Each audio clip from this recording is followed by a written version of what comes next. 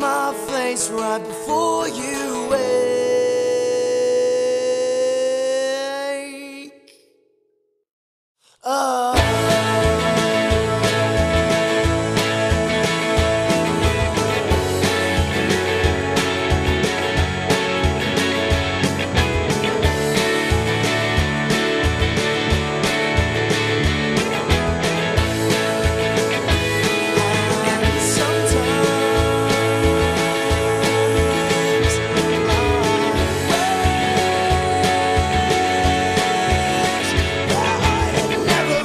looking at you in the first